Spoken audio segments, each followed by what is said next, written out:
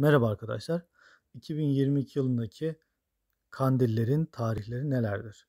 Birinci sırada Regaib Kandili Şubat'ın 3'ünde.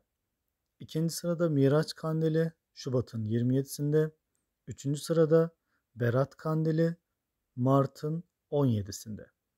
Sonra Ramazan, Ramazan Bayramı, Kurban Bayramı, Hicri Yılbaşı ve Aşure gününden sonra da son olarak bu yıl 10. ayın 7'sinde Mevlid Kandili